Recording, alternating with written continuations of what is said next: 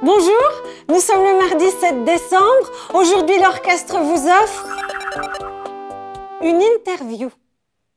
Bonjour maestro.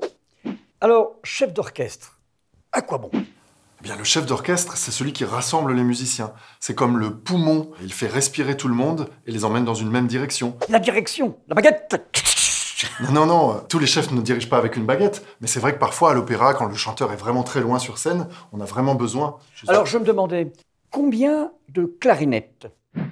Là aussi, ça dépend. La clarinette, c'est un instrument qui a été inventé assez tard dans l'histoire de la musique. Par exemple, Mozart l'a connu seulement à la fin de sa vie. Au 19e siècle, on a commencé à mettre trois clarinettes, quatre clarinettes selon les réparties. Est-ce que vous avez d'autres questions?